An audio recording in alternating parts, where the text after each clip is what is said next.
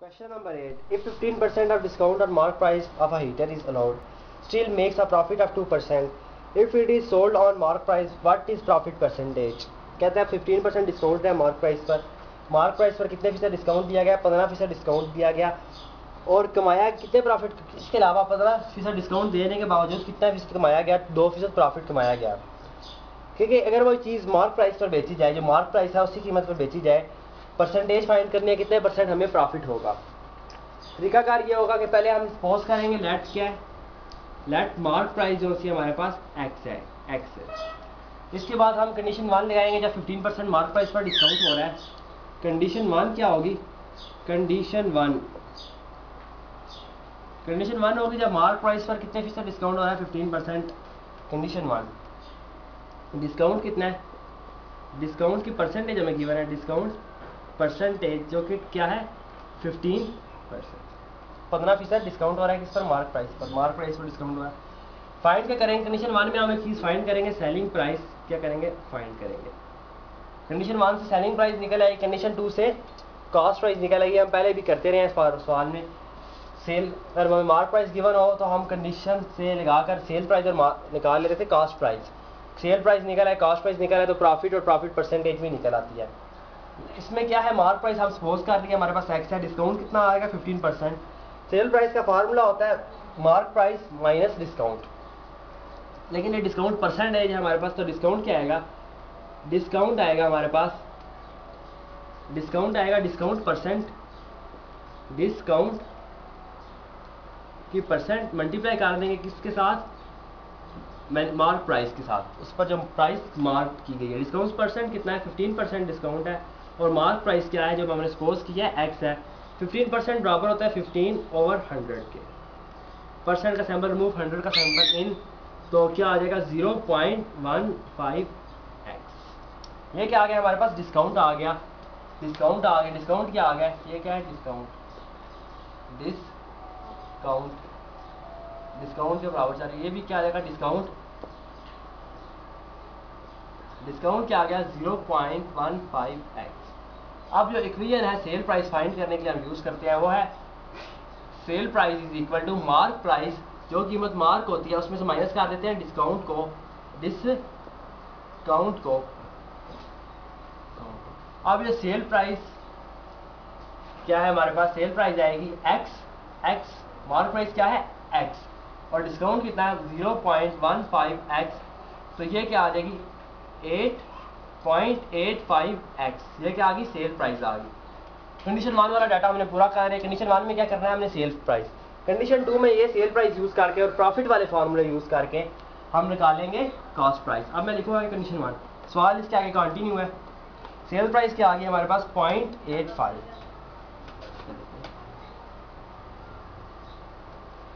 sale price आ गई point eight five मैं लिख रहने दूँगा। इसके नीचे कंटिन्यू इस साइज़ के ऊपर लिख लें कंडीशन टू में क्या है? कहता है कि उसको कितना प्रॉफिट हुआ? कंडीशन टू में वो कहता है उसको पंद्रह फ़ीसद नुकसान डिस्काउंट देने के बावजूद कितना प्रॉफिट हुआ। वहाँ वो वाली चीज़ क्या है? कंडीशन टू उस चीज़ पर लिखें कंडीशन टू है वो। बदल आपका सवाल से उसी चीज़ में जारी है। कंडीशन टू में हमें क्या गिवन है? सेल प्राइस कितनी है? पॉइंट एट फाइव या ज़ीरो पॉइंट एट फाइव एक ही बात है। Zero point eight five X zero point eight five X. Profit कितना आ गया? प्रॉफिट? प्रॉफिट की परसेंटेज कितनी गिवन है टू परसेंट हमें प्रॉफिट हुआ। कितने फ़ीसद प्रॉफिट हुआ? Two percent.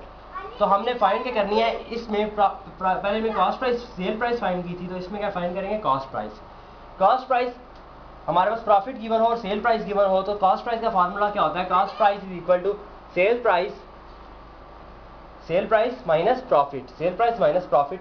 लेकिन ये क्या है? प्रॉफिट परसेंटेज है, प्रॉफिट परसेंटेज से हमने क्या फाइंड करना है? प्रॉफिट। तो प्रॉफिट क्या आ जाएगा?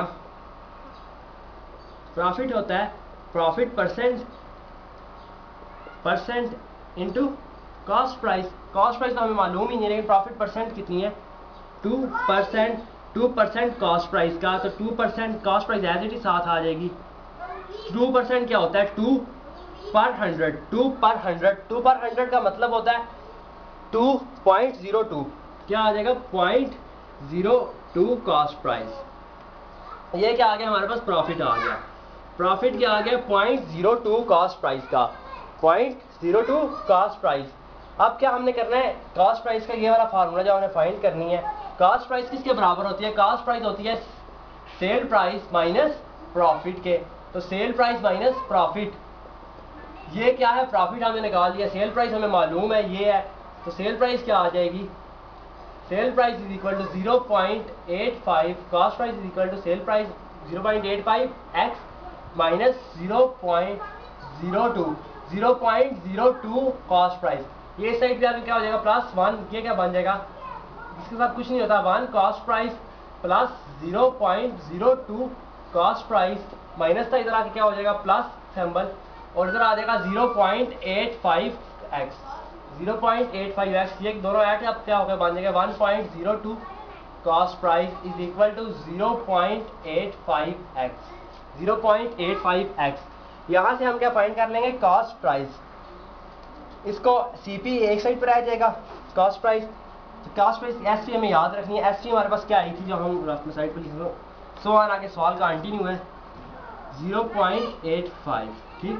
एक्स के साथ, ठीक? एस पी आ चुकी थी, अभी हम यहाँ से कॉस्ट प्राइस फाइंड कर लेंगे। एस टी की कोई ज़रूरत नहीं वैसे छोड़ दें इसको तो नहीं, हमारे जो कास्ट प्राइस आ जाएगी कास्ट प्राइस किसके बराबर आ जाएगी? 0.85 एक्स और ये वाला इसके साथ था, इसका एज इट 1.02 कॉस्ट प्राइस एक साइड पर लिख लें, और 0.85 ओवर 1.02 एक्स इसको डिवाइड कर देंगे 1.082 से। 0.85 डिवाइडेड बाय 1.02 ये आ जाएँगे, हमारे पास कॉस्ट प्राइस आ जाएगी zero zero point eight zero point eight three three three eight three three so on आगे चलते जा रहे हैं थ्री तो मैं तीन तक लेकर सात एक्स लिख दूँगा ये हमारे पास क्या आ गई कास्ट प्राइस अब उसके आगे कहता है, अगर वो सेल प्राइस क्या हो कहता है if it is sold on mark price अगर ये किस पर बेचा जाए मार्क प्राइस पर, जो हमने पहले सेल प्राइस की थी, उस पर ना बेचा जाए मार्क प्राइस पर। मार्क प्राइस हमारी जो मैंने सबसे पहले लाइन लिखी थी, वो क्या थी? मार्क प्राइस एक्स थी। कहता है, अगर ये किस पे सेल किया जाए मार्क प्राइस पर तो सेल प्राइस किसके बराबर आ जाएगी? Sell price is equal to इसके आगे कंडीशन थ्री कर लेते हैं। कंडीशन थ्री कंडीशन थ्री तीसरी कंडीशन कहते हैं जी कॉस्ट प्राइस क्या हो? कॉस्ट प्राइस क्या हो?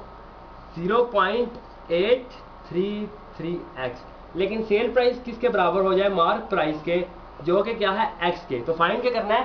प्रॉफिट की परसेंटेज सेल प्राइस भी है हमारे पास कॉस्ट प्राइस भी है। हमने फ़ाइल फाइंड क्या करनी है? प्रॉफिट की परसेंटेज प्रॉफिट परसेंटेज किसके बराबर होगा profit over cost price into hundred hundred के साथ परसेंटेज का सैंपल तो प्रॉफिट क्या होता है? जैसे प्रॉफिट के फार्मूले में प्रॉफिट आता है, वो होता है sell price minus cost price तो प्रॉफिट क्या आएगा? प्रॉफिट सबसे पहले फाइंड कर लेंगे। प्रॉफिट आ जाएगा। Profit is equal to sell price minus cost price जो कि किसके बराबर होगा? X minus zero point eight three three x इसमें से अगर एक्स कॉमन ले लिया जाए तो ये बन जाएगा one minus zero point eight three three और एक्स यहाँ पे कॉमन वन में से माइनस कर देंगे। One minus point eight three three ये बन जाएगा हमारे पास zero point one six seven x profit आ गया। अब प्रॉफिट परसेंटेज के लिए जो फार्मूला यूज़ किया था प्रॉफिट परसेंटेज के लिए वो होता है profit